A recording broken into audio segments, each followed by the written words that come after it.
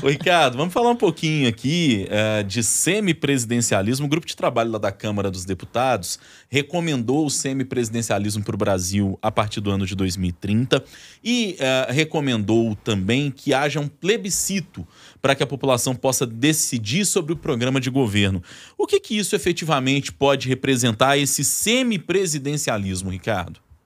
Bom, é claramente uma maneira de fortalecer ainda mais o papel do legislativo, né, e enfraquecer eventualmente qualquer que seja o presidente da República é, que a gente tem a partir de 2030. Né? É, certamente uma discussão complexa. Né? O Brasil já passou por dois plebiscitos para discutir o assunto. Nos dois, é, o presidencialismo é, saiu vitorioso. Né? É, não havia na, na nossa Constituição previsão de um novo plebiscito mas isso está colocado como uma, como uma opção, né? E, e no caso do semipresidencialismo, para as pessoas entenderem, né, resumidamente, é, nós continuaríamos votando para escolher um presidente da República esse presidente escolheria é, alguém para ser o primeiro-ministro, né, é, que faria a chefia de governo, né, o presidente ficaria com a chefia de Estado, a representação do país e tal.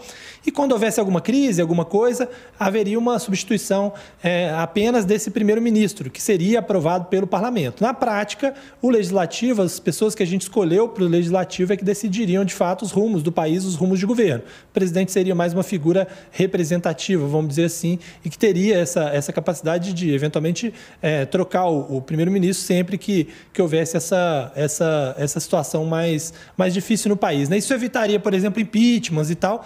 Mas me parece que não é bom. Primeiro, que não é o momento de discutir isso nas vésperas da eleição. Né? A gente está num, num, processo é, profundamente polarizado. Ficar discutindo isso agora não é o, o melhor dos, dos caminhos. Né? Esse é o primeiro ponto. É, e segundo, que para que a gente tivesse um semipresidencialismo efetivo, efetivo no Brasil, a gente precisaria também contar com um parlamento mais programático. Né? Não é o caso de hoje. Infelizmente, as últimas eleições mostraram isso. Os mais votados são aqueles chefes de torcida, influenciadores, que fazem é, a política mais mais de torcida, vamos dizer assim, na internet, e isso não contribuiria com um debate em que o parlamento teria que decidir o primeiro-ministro. Né? É, eu, eu, já falei algumas vezes, Ricardo, é, que na minha avaliação, e isso é a avaliação pessoal, é que antes de pensar em mudar sistema de governo, nós precisaríamos mudar a cultura política do Brasil. E entra, inclusive, nisso que você está falando aí, do perfil que a gente tem de parlamentares que é, são parlamentares muitas vezes pouco afeitos a questões programáticas efetivamente, e mudar a cultura política. Porque aí, quando você tem uma cultura política acertada, o sistema de governo é consequência da escolha das pessoas é. do que pode ser melhor. Mas sem mudar essa cultura política, inclusive desse compadrio, do toma lá da cá, de coisas como orçamento secreto, por exemplo, fica realmente difícil que a gente acredite que é. alguma coisa coisa vai melhorar simplesmente com uma mudança de sistema de governo. É, não, exatamente. A grande questão é essa. Assim, você, é, eu até acho que a população brasileira não está satisfeita com esse presidencialismo de coalizão que é feito hoje no Brasil. Mas, sem dúvida nenhuma, também não está satisfeito com o parlamento que nós temos. Né? E entregar esse, essa, esse voto para o parlamento decidir. Né? Como se a gente estivesse escolhendo o governo por um voto indireto, né? escolheria um, um parlamentar. É claro que isso faria também com que as pessoas é, refletissem melhor sobre as eleições legislativas. Né? Talvez tivessem um pouco mais de atenção. Mas o próprio modelo é, de hoje não contribui com isso. Esse modelo modelo é, é, em que é eleito é, o, o, que tem mais votos, que tem 30 partidos e tal, isso não resolve.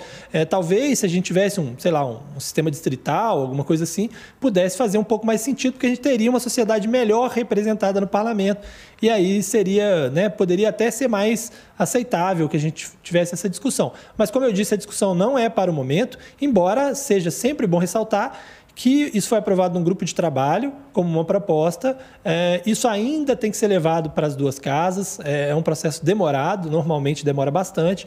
É, provavelmente, quando a gente tiver um novo parlamento, a gente vai ter uma discussão diferente da que a gente tem hoje e sempre levando em consideração as questões políticas. Quem está no poder e que acha que vai conseguir eleger o sucessor e os próximos sucessores nunca quer mudar o sistema. E quem perdeu a eleição normalmente aceita mudar porque quer enfraquecer o adversário de alguma maneira. Então, pode ser que a gente tenha algum, algum movimento nesse sentido no parlamento, principalmente de quem perder a, a, eleição, mas exatamente por isso não é hora de falar nisso nas vésperas de eleição, é uma coisa que pode ser discutida mais adiante, e claro, sempre com a questão do plebiscito. Né? Havia a possibilidade, inclusive, de não se fazer plebiscito. Eu acho que, assim, embora eu, eu não ache que essa, que essa mudança é uma urgência hoje no país, não é uma prioridade, mas se ela tiver que ser feita, sim, tem que ser feita a partir de um plebiscito em que a população seja bem esclarecida sobre o que é um sistema e o que é outro. Né?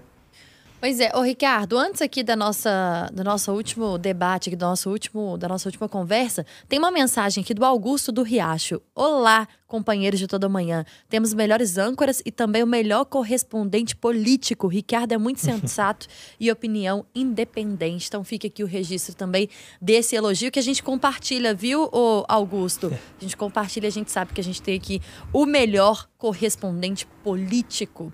Ô Ricardo, vamos falar rapidinho sobre o projeto dos institutos de pesquisa aprovado com urgência? Vamos sim. Primeiro agradecendo aí a gentileza do Augusto, né? Sempre que tiver aí críticas e sugestões, né? Estamos sempre à disposição. Muito obrigado. Sobre o projeto da, das pesquisas, nessa né? urgência que foi aprovada no projeto das pesquisas, é mais um tema que está sendo votado de forma atropelada, né? Principalmente focado na questão eleitoral. Não é hora de se discutir isso, né? Até porque é preciso ver o segundo turno também para ver os resultados das pesquisas.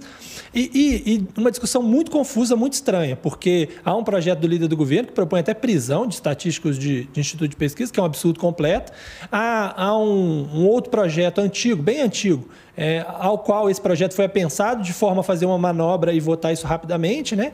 Então, o que a gente tem é, é o presidente Arthur Lira querendo mostrar serviço para o presidente da República, que é seu aliado, fazendo uma votação acelerada e atropelada desse assunto para tentar aprovar de qualquer jeito, mesmo sabendo que depois o Senado vai é, colocar o pé no freio sobre isso. Né? E num momento absolutamente, com, com, viés absolutamente eleitoral. Eu não tenho dúvida nenhuma de que quando acabar a eleição, é, e principalmente se os institutos no segundo turno tiverem um resultado mais parecido com, com o resultado do que foi no primeiro turno, que é o que foi, que foi o que aconteceu em 2018, por exemplo, a gente não vai ter mais essa discussão tão, tão é, intensa no parlamento e por isso essa pressa do presidente é, da Câmara de fazer uma votação acelerada e atropelada, como tem sido, infelizmente, uma, uma praxe do atual presidente da Câmara. Né? O que ele quer aprovar, independente do assunto se, se interessa o governo ou não, o que ele quer aprovar ele atropela e vai de qualquer jeito, como foi também com a questão dos jogos né, de azar no Brasil.